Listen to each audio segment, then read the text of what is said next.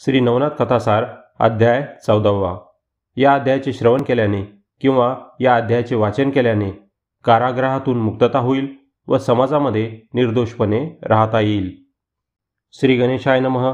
जालिंदरनाथाकडून उपदेश प्राप्त झाल्यामुळे मैनावतीस जन्म सार्थक झाल्याचे समाधान वाटले तरी ते फार काळ टिकले नाही. आपल्याप्रमाणे आपल्या पुत्राचे गोपीचंदाचेही कोट कल्याण व्हावे हा विचार वारंवार तिच्या मनात येत असे. पुढे माघ मासात एके दिवशी कडाक्याची थंडी पडली असता मैनावती गच्चीवर ऊन खात बसली होती. त्याचवेळी खालच्या बाजूस प्रांगणामध्ये गोपीचंदाच्या स्नानाची तयारी चालू होती. त्याच्या अवतीभोवती काही दासी व राजंगणा त्याच्या स्नानासाठी उष्णोदक व सुवासिक तेलांची सिद्धता करण्यात गर्क होत्या. मैनावतीचे त्याच्याकडे सहज लक्ष गेले आणि तिच्या मनात आपल्या सुकुमार पुत्राचे हे सोमकांती शरीर आज न उद्या नष्ट होणार या विचाराने काहूर माजले. आणि पुत्रमोहात गुरफटल्यामुळे तिला दुःखावेग अनावर होऊन ती ओक्साबोक्षी रडू लागली. तिचे अश्रू खाली गोपीचंदाच्या अंगावर पडू लागले. तेव्हा त्याने चमकून वर पाहिले तर मैनावती रडत असलेली दिसली. ते पाहून तो तोरेने आईपाशी गेला व म्हणाला आई का रडतेस? काय झाले? तुला कसले दुःख आहे? तुला कोणी बोलले का? तुझा कोणी अपमान केला का? तुझ्या सेवेत काही नेऊन राहिले का? त्यावर मैनावती म्हणाली बाळा तसे काही नाही रे. तू असताना मला दुःख चिंता कसली? आज तुझे सुंदर रूप पाहून मला तुझ्या वडिलांची आठवण झाली. तेही सुस्वरूप व पराक्रमी होते पण शेवटी त्यांचा देहही काळाच्या भक्ष्यस्थानी पडला. तुझे तसे होऊ नये असे मला वाटते. सर्व भक्षक असा तो कृतांत महाबलाढ्य आहे. तू भोगविलासात मग्न होऊन आपल्या जन्माचे मातेरे करून घेण्यापेक्षा या नरतनूच्या साह्याने त्या काळरूपी वाघाला बंदिस्त करून अद्वितीय चिरंजीव असे मोक्षपद प्राप्त करून घ्यावेस असे माझे मत आहे. आज तू आपल्या आयुष्याचा मौल्यवान काळ फुकट घालवित आहेस हे पाहून दुःखाने रडू कोसळले.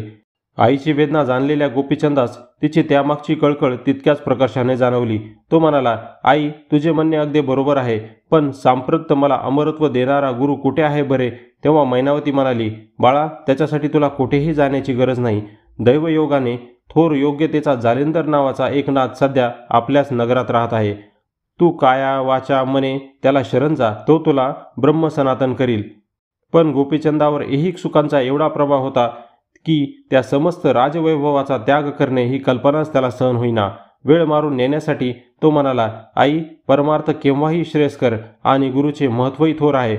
पण तू मला एकाएकी योग दीक्षा घ्यावयास सांगशील तर ते मला कसे शक्य होईल? त्यासाठी मानसिक तयारी हवी. म्हणून मला बारा वर्षाची मुदत दे. या अवधीमध्ये सर्व सुख उपभोग घेऊन मी गुरुला शरण जाऊन दीक्षा घेईन. आपल्या पुत्राची ती प्रपंचासक्ती मैनावतीला अजिबात रुचली नाही. ती म्हणाली मृत्यू कोणत्या क्षणी घात करील ते सांगता येत नाही. ते ते तू मला बारा वर्षाची खात्री कोणत्या आधाराने देतोस? काळाचा प्रभाव इतका गहन आहे की त्याच्यापुढे कोणाचेही शहाणपण चालत नाही. श्रेष्ठांनी त्याच्यापुढे गुडघे टेकले आहेत. तेव्हा तिच्या म्हणण्याला संमती देऊन गोपीचंद स्नानाकरता निघून गेला.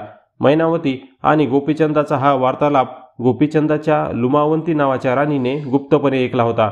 आपल्या पतीने सासूचे ऐकले तर आपले हाल होतीलच. शिवाय राज्य व्यवस्थाही कोलमडून पडेल या विचारांनी तिच्या मनात प्रचंड खळबळ माजली. मैनावतीच्या रूपाने महा अनर्थरूपी ग्रहण राज्याला ग्रासू पाहत आहे. त्याला वेळीच पायबंद घातला पाहिजे असा विचार करून तिने राजाच्या मर्जीतल्या आपल्या सात सवतींना बोलावून घेतले आणि मैनावतीचे सर्व दृष्ट कारस्थान त्यांच्या कानावर घालून सासूविरुद्ध त्या सर्वांची मने वळवली.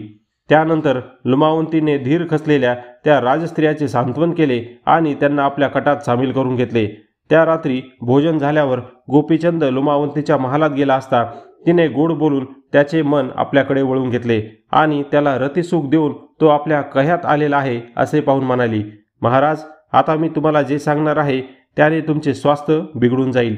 ते सांगावे तरी अडचण न सांगावे तरी अडचण. अशी माझी द्विधावस्था झाली आहे. तुम्ही मला अभयवचन दिले तरच मी काही बोलू शकेल. आपल्या लाडक्या राणीचे पेचात टाकणारे ते बोल ऐकून गोपीचंदाने तिला अभय दिले. तेव्हा ती म्हणाली महाराज नगरात कोणी जालंधर नावाचा यती आलेला असून त्याचे व सासूबाईचे काही संबंध आहेत. असे कानावर आले आहे.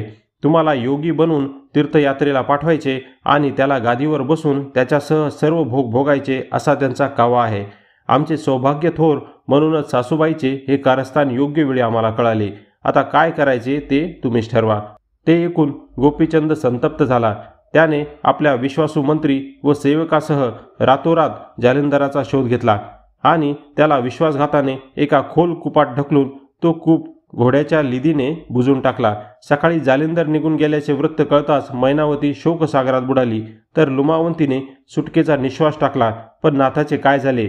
खड्ड्यात पडताच त्याने वज्रासन घातले. आणि आपल्या माथ्यावर वज्रास्त्र व भोवताली आकाशास्त्राची योजना करून स्वतःला सुरक्षित केले. त्यामुळे गाडला जाऊनही तो स्वस्थ होता. इथे श्री नवनाथ कथासार अध्याय चौदा संपूर्ण.